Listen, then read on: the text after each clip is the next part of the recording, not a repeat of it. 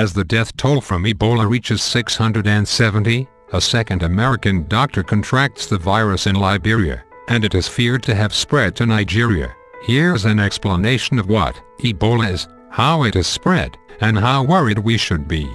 Ebola virus disease, formerly known as Ebola hemorrhagic fever, is described by the World Health Organization as a severe, often fatal illness in humans.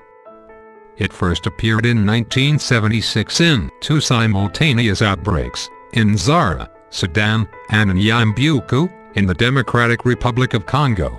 The latter was in a village situated near the Ebola River, from which the disease takes its name. It is mainly found in tropical Central and West Africa, and can have a 90% mortality rate, although it is now at about 60%. The virus is known to live in fruit bats, and normally affects people living in or near tropical rainforests.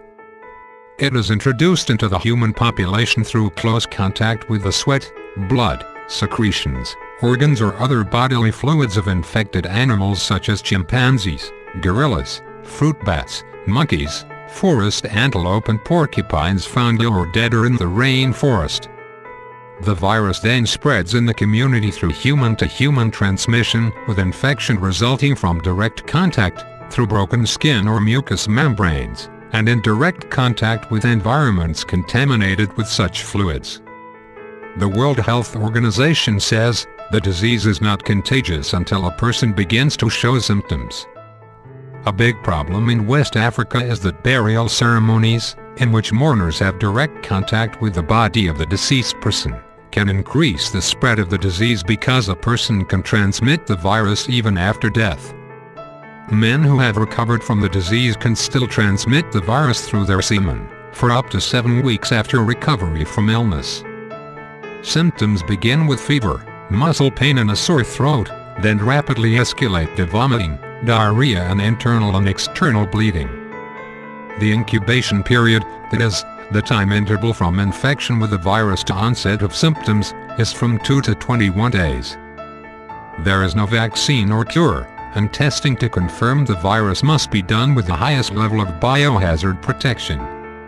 Severely ill patients require intensive supportive Patients are frequently dehydrated and require oral rehydration with solutions containing electrolytes or intravenous fluids. The WHO is calling this the largest outbreak ever recorded of the disease. But there have been sporadic outbreaks before, mainly in Uganda, the DRC, Sudan and Gabon.